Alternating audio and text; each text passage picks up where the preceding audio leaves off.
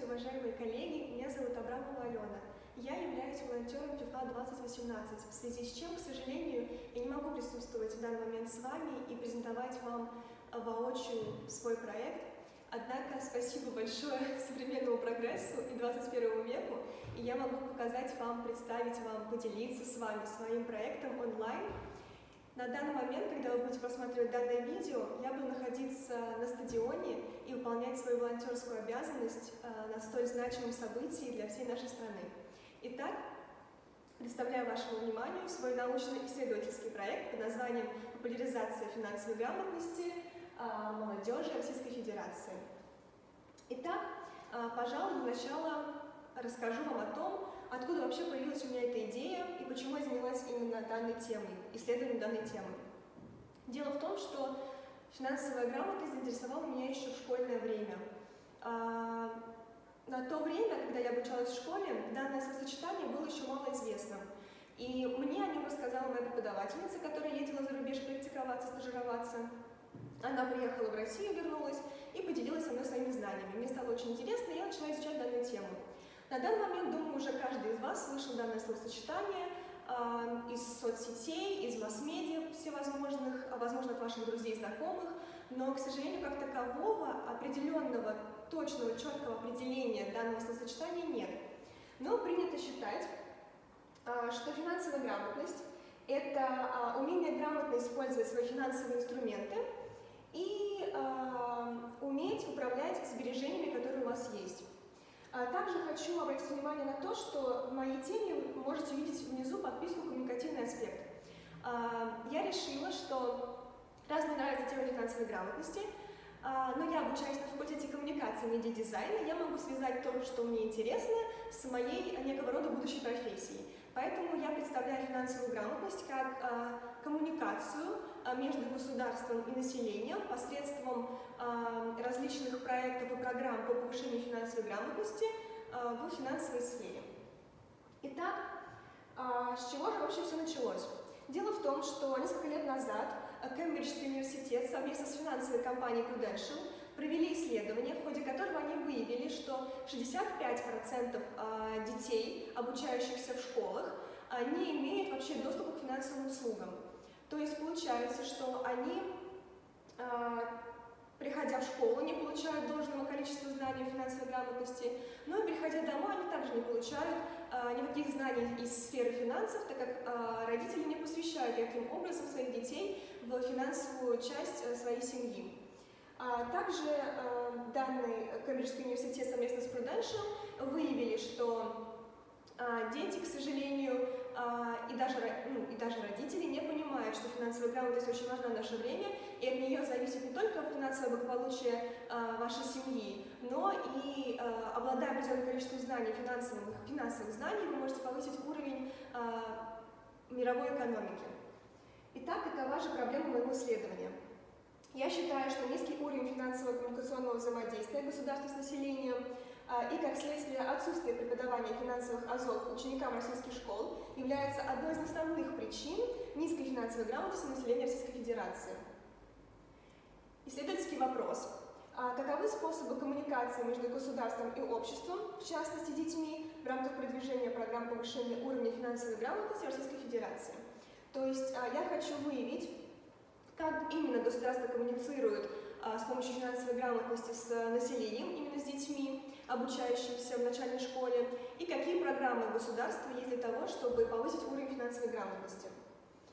А, объектом исследования является коммуникация в финансовой сфере между государством и учебными заведениями, и предметом исследования является государственная программа повышения финансовой грамотности школьников. А, ну, собственно, это все. Целью исследования является выявить уровень финансового коммуникационного взаимодействия государства с населением и создать проект по повышению финансовой грамотности. То есть моей целью является не просто выявить, как именно государство коммуницирует с, со школьниками в финансовой сфере, а, и какие у них для этого есть способы популяризации финансовой грамотности, но я хочу с помощью данного анализа, исследования создать собственный проект, который поможет повысить финансовую грамотность детей а, в наших а, российских школах. Итак, что же касается литературы. Опиралась я на, в основном на официальные источники, то есть официальные сайты Минфина Российской Федерации, Министерства финансов, и на официальный сайт «Держи с финансами». Также, а, безусловно, я исследовала а, зарубежную литературу, так как мне нужно было понять, как обстоит ситуация с финансовой грамотностью за рубежом, чтобы понять, вообще эффективно ли это внедрять финансовую грамотность в школьную программу. А, безусловно, я не могла обойтись без э, теории, без учебной литературы. В основном я брала акцент на книгах Гриффина, Хофланда и Франца. И также я исследовала различные э, компании государственные по финансовой грамотности и различные проекты по повышению финансовой грамотности. А, что же касается гипотез. Первая моя гипотеза является то, что я считаю, что низкий уровень финансовой грамотности учеников начальной школы обусловлен отсутствием финансового образования у их родителей. Могу немного пояснить данный пункт. Я считаю, что так как э, финансовая грамотность не входит в школьную программу, дети не получают должного образования финансовой грамотности в школе. А, но, приходя домой, они также не могут восполнить свои пробелы в знаниях, так как родители также недостаточно осведомлены в данной сфере. А, да, безусловно, родители, э, взрослые люди, да, они крутятся в финансовой сфере, они работают многие с деньгами, да, у них есть личные сбережения, да, они обладают некими знаниями в практической сфере, но, к сожалению, они не делятся ими с детьми, а, и э, данные знания не выходят за рамки а, практики жизненной. Поэтому тем самым получается, что дети не получают образование ни в школе, и, приходя домой, они не могут восполнить свои пробелы. А второй гипотезой является а, то, что я считаю, что если внедрить обучение финансовой грамотности в официальную школьную программу, а, российских школ, то это поспособствует повышению уровня финансовой грамотности молодежи. И моя третья гипотеза. А, я считаю, что разработка и реализация государственного проекта по повышению финансовой грамотности населения является а, эффективной финансовой коммуникационной стратегией взаимодействия государства и населения. Итак, теперь, пожалуй, я расскажу вам немного о теории, на которой я опиралась в своей работе. Да, я знаю, что у нас, к сожалению, ограниченное количество времени, поэтому я постараюсь Э, рассказать вам лишь о главных аспектах, чтобы вы понимали, как именно я связала финансовую грамотность с коммуникациями. Итак, основной акцент я делала на коммуникационную парадигму Крейга, то есть моя работа основывается на данных великого Крейга. Э, итак, первая традиция, которая подходит к моему исследованию, на которой я делала акцент, это кибернетическая традиция. Здесь делается акцент на том, что есть коммуникатор, и его действия все являются по отношению к аудитории направленными. А, и эти действия не просто для того, чтобы что-либо сделать, но каждое его действие сделано с целью какого-то определенного дальнейшего а, итога. То есть а, он делает какой-то шаг навстречу к аудитории, уже видя заранее цель, которую хочет достичь. В моем случае получается, что я являюсь данным коммуникатором, а, я вижу цель, а, я хочу, чтобы а, уровень финансовой грамотности молодежи, а именно школьников, учеников начальной школы повысился. И с помощью своего проекта, о котором я вам в дальнейшем расскажу, который я хочу создать, с помощью этого проекта я иду навстречу аудитории, видя цель в повышении финансовой грамотности и препод... Эм, дав некие знания аудитории своей, я смогу достичь цель, которую я вижу. Также я опиралась на семиотическую традицию.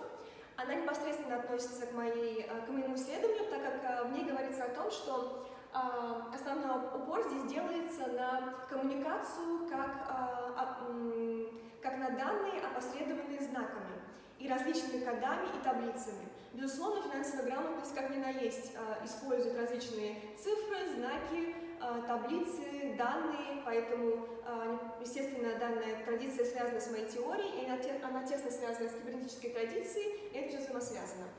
А, также мое исследование основывается на э, теории Objective Theory. В ней есть три времени в данной коммуникации. Это прошлое, настоящее и будущее. Здесь говорится о том, что коммуникатор, планируя свои действия по отношению к реципиентам, к аудитории, а, он, а, находясь в настоящем времени, использует данные из прошлого, и а, используя те данные из прошлого в настоящем, он уже заранее планирует будущее, планирует будущие результаты. В моем случае получается, что я анализировала различные ситуации, связанные с финансовой грамотностью в прошлом, как финансовая грамотность развивалась, что вообще они знали в прошлом, каков уровень финансовой грамотности был в прошлом у детей. Теперь я нахожусь в настоящем, то есть те данные, которые я использовала из прошлого, я использую в настоящем, чтобы создать свой проект и попытаться повысить уровень финансовой грамотности детей. И используя те данные в настоящем, я уже думаю заранее о будущем, а, чтобы использовать те знания, которые я получила, а, создать проект и постараться повысить уровень финансовой грамотности в будущем у детей и в дальнейшем, возможно, всего населения нашей страны. Итак, а, к сожалению, время ограничено, я не могу рассказать вам подробно о всех аспектах, которые, надеюсь, что вам видно на слайде. К сожалению, свет не очень хороший, я извиняюсь за это. На слайде я могу уточнить, что здесь написано. В теории я использовала также я изучала различные аргументативные теории и теории убеждающей коммуникации, а, и изучала сложности и ошибки, которые могут в ходе такой коммуникации возникнуть. Дело в том, что, безусловно, я понимаю, что дети а, сильно отличаются от взрослых, и мне нужно знать необходимый, а, необходимую тактику, мне нужно знать определенный подход к детям, чтобы преподать информацию, которую я хочу, так, чтобы они поняли то, что я пытаюсь им донести, и чтобы моя коммуникация с ними была максимально эффективной. Поэтому я должна понимать, а, как именно я могу убедить детей в том, что а, финансовая грамотность действительно им нужна, важна, и сделать это так, чтобы им было интересно, все это сделать в интерактивной форме. И здесь поэтому именно мне помогла, помогли данные теоретические об убеждающей коммуникации и об аргументативной теории. Итак, а, конечно, не могла обойтись без зарубежной литературы. Я проанализировала зарубежный рынок, посмотрела, как там происходит, как там обстоят обстоятельства, как, извиняюсь, как там, в общем, как, на каком уровне находится финансовая грамотность за рубежом. А, и, э, надеюсь, вам видно на слайде, у меня немножко разделены страны. Не выделенные страны находятся от вас э, на одной стороне, это Австралия, Франция, Чехия и США. А, я их не выделяла, потому что в данных странах уже довольно-таки давно практикуется преподавание финансовой грамотности в учебных заведениях, но а, данная финансовая грамотность не является официальной программой, но эффективно преподается, и я смотрела исследования, которые доказывают, что данное обучение действительно эффективно, и уровень финансовой грамотности детей повышается. И по другую сторону этих четырех стран вы можете увидеть Великобританию, которая выделена жирным шрифтом.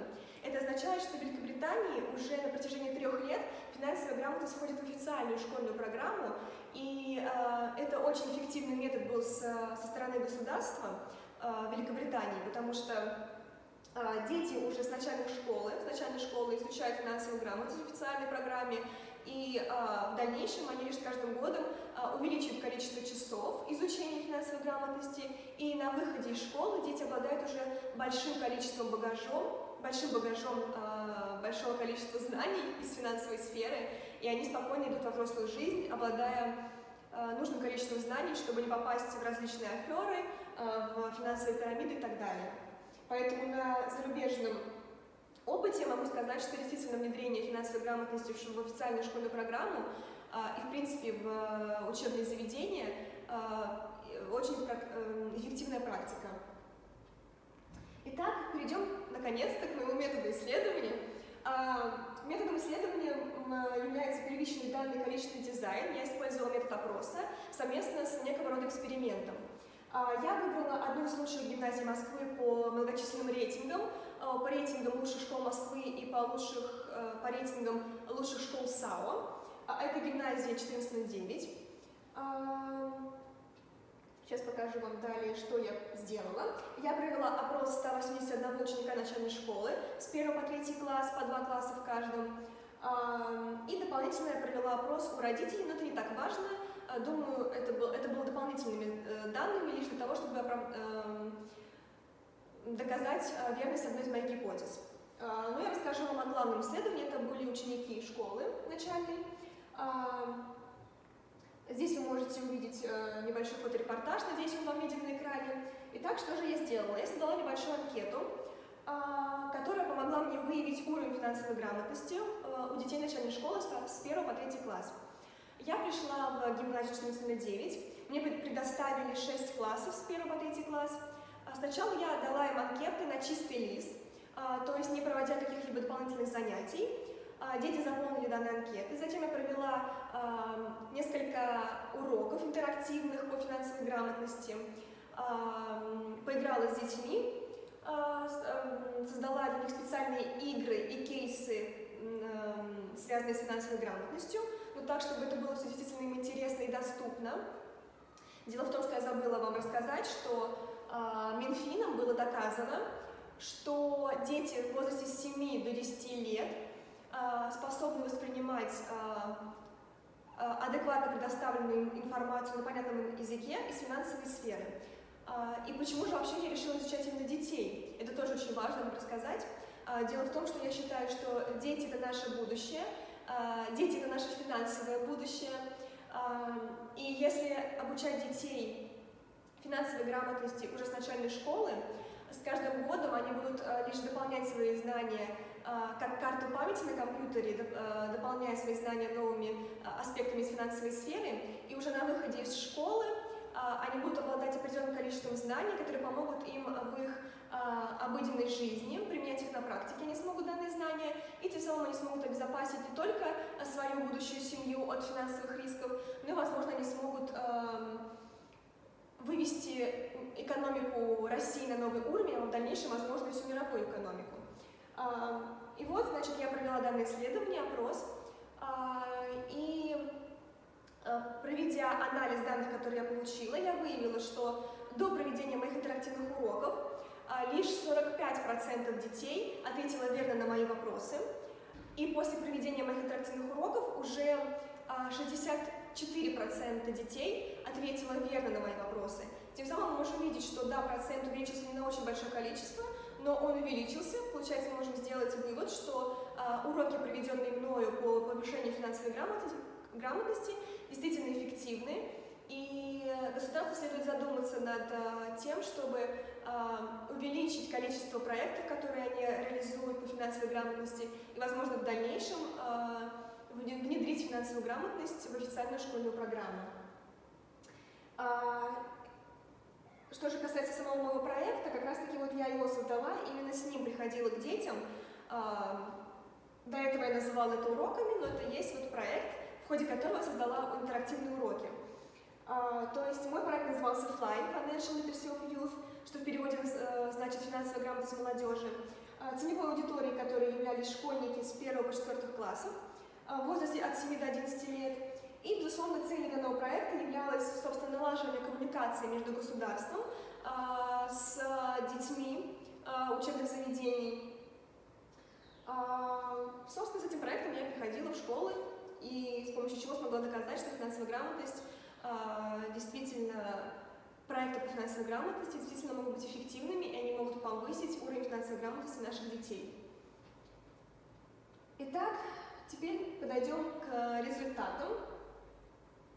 А, что же я могу сказать? А, в ходе моего исследования все мои три гипотезы были подтверждены. Я доказ, смогла доказать, что повышение финансовой грамотности действительно может быть осуществлено эффективно, а, да, это, это, этого требует время, безусловно, ничего в наше время не бывает очень быстро, а, но это возможно. А, но не стоит забывать о том, что финансовая грамотность – это некий собирательный образ, то есть невозможно повысить только уровень детей. Дети вертятся в своем маленьком мире, но они коммуницируют одновременно не только с учебными заведениями, с преподавателями, безусловно, они живут каждый в своей семье. И очень важно, чтобы а, не только преподаватели были грамотны финансово, но и их родители. А, потому что родители также могут передавать определенное количество знаний из финансовой сферы своим детям. Поэтому важно а, повысить не только уровень финансовой грамотности у самих детей, но необходимо провести различные мероприятия для преподавателей, повысить их квалификацию в финансовой сфере, и э, организовать различные мероприятия, государственные мероприятия для родителей, чтобы также повысить уровень финансовой грамотности и у родителей. Поэтому могу сказать, что да, в настоящее время существуют различные проекты по финансовой грамотности, то есть коммуникация между государством и населением налажена на довольно-таки высоком уровне. Э, вот, кстати, недавно, 19 мая, проходила неделя финансовой грамотности, организованная Минфином Российской Федерации. То есть такие проекты существуют в наше время в России, но их э, не очень большое количество, и сама коммуникация налажена на очень плохом э, уровне. То есть проекты как таковые существуют, но популяризация финансовой грамотности не на очень высоком уровне. То есть информация о том, что проходят те или иные мероприятия, до людей, до населения, к сожалению, доходит очень плохо. Поэтому э, посещаемость данных мероприятий очень на низком уровне, э, в связи с чем э, уровень финансовой грамотности у населения, в частности у детей, э, остается на прежнем э, низком уровне.